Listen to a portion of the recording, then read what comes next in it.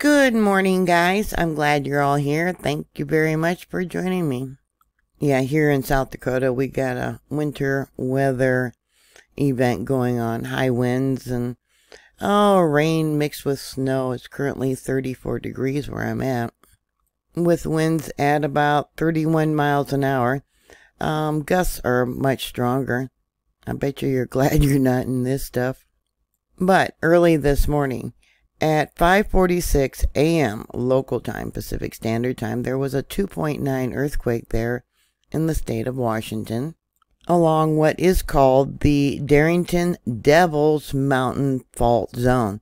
This area is capable of having a magnitude 7 or greater earthquake. The reason being the fault is about 31 miles long. USGS gave it an intensity level of 4, which means it was felt do- indoors by many, outdoors by a few. At night, some people would have been woken up. Well, I'm sure they were because at 5:46 a.m. many people probably were still sleeping or maybe just getting up. Dishes, windows, doors would have been rattling and parked automobiles would have been rocking noticeably. USGS does not have a moment tensor ball, so we can't tell which direction the fault moved, but you can see it was more likely along the fault by the felt reports. Up over here we have Oak Harbor. Uh, down here, um, Marysville, I can't quite make that out what that says. Intensity level of 4 right there. Intensity level 3 going a little bit more west. That was nine responses. And then three responses close to where the earthquake occurred, intensity level four. So here's the earthquake. You can see the river. Um, here it says tribal joint. I don't know what that is. Oh, they, yeah. Can you see that? Uh, so they must be getting into other types of enterprises besides casinos. So this would be the Sauk River. And let's bring it out. I tried to draw out the fault zone as best as I could. I found another document that actually says it goes not so much along here, but um, down to where it's labeled SWJF, which is the Southern Whidbey Island Fault. Um, but I had originally found a document that shows it goes all the way up here by Lopez Island. Now, in another report that I talked about the earthquakes um, down there by Los Angeles, how they could have a sudden uplift of the fault system. It would be like uh, an arrow being suddenly shot up into the sky, or on a seesaw, yeah, suddenly shot up. And I found this interesting here, where there was different areas, they call them scarps, where the fault suddenly jumps up. And let me highlight this for you. Anywhere between 3 and 15 feet. It's like wham, it jumps up. Can you imagine 15 feet of uplift? Now that was a vertical uplift. And then they had lateral movement of six and a half feet. And I've talked about earthquakes. The longer the earthquake, the more you're shaken back and forth. And that would be every second. Every second being jerked back and forth six and a half feet. Can you imagine that? The larger the earthquake, the longer the shaking back and forth continues. So the most recent earthquake was between 1,000 and 2,200 years ago. And then there was another one, a second one, um, between 100 to 500 years ago. That's a big gap.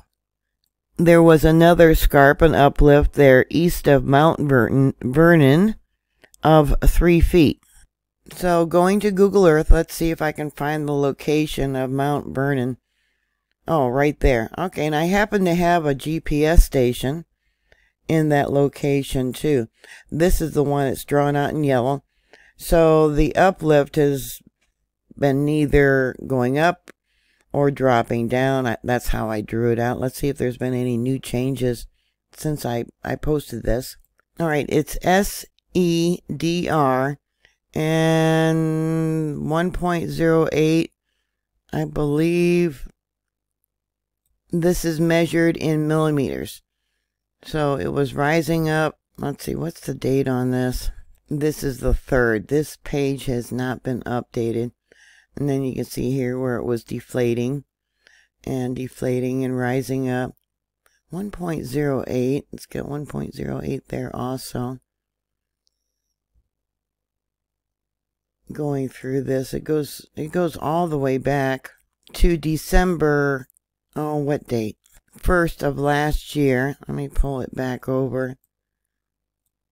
Okay. Uh, which had uplift of 1.58 millimeters. Oh, there's 2.38 millimeters and then it went up and it went down. It's it's constantly breathing. Here we got 3.18 millimeters, which really isn't a lot when you're measuring in millimeters. See, it went up 3.18, but then over here we get it went down 2.12. Went up. Looks like it's slowly rising more than what is deflating. And then going back down to what it's Oops, there we go. What it's currently showing. So anyways, there's Mount Vernon. This paper here was a scenario if there was a 7.1 earthquake in that location. They figured there would be liquefaction going on, uh, similar to what happened in Loma Prieta earthquake in 1989. There could be a tsunami if the fault ruptured there in the Puget Sound and we'll come out to where the fault goes yeah all the way out here yeah depending on if it ruptured there or down here could also be delta failures and landslides caused by the shaking. If it was a 7.1 15 counties would be affected. Uh total injuries uh 652 Total numbers of buildings extensively damaged 4,864. People losing their homes and would require sheltering uh, 1,448. People without power for one day would be 10,176. And people who would need water because of the loss and broken water lines 29,697. Now, this scenario is from 2009, so I'm sure there's a lot more people and a lot more buildings. So, this scenario was developed probably about 13 years ago. Skagit County is expected to suffer the highest numbers of casualties. Many of the injuries will be serious enough to require hospitalization. Numerous numbers of fatalities are likely even if the event occurs during the afternoon or early evening. Nearly half of Skagit's buildings stock may be damaged. Of these buildings, it is anticipated that more than 2,300 will be extensively damaged and approximately 750 completely damaged. After Skagit, the damage is greatest in Snohomish, Whatcom, and Island counties. Most of the damaged buildings will be residential, but commercial and industrial structures also account for the large portion of the total in this scenario. So down here, the scenario and the number of injuries and death and damage was from 2012 2013. So they know it's just a matter of time before something like that happens. Um, they've already had two events in the past. Did you feel this earthquake this morning? like I said, it was just before uh, 6 o'clock this morning, 5.46 a.m. It was shallow, uh, minus 0.1 kilometers in depth. So this earthquake occurred above sea level. All earthquakes are measured from sea level. A lot of people don't realize that. So it was above sea level, and that's why it's got the negative. Let me make that bigger uh, minus for the depth of this earthquake. Don't forget to subscribe and check to see if you're still subscribed. For those of you that are not getting notifications when I put out a video, try unsubscribing, then resubscribing, and then hit the bell. So, what are your thoughts? Please put those comments down below. Uh, did you notice it? And what did your pets do? How did they react before and after? Any earthquake has the uh, potential of being a foreshock for something much larger. See, up over here in 1874, there was a magnitude 7.4. Please stay safe, and I'll talk to you later. God bless you. Bye.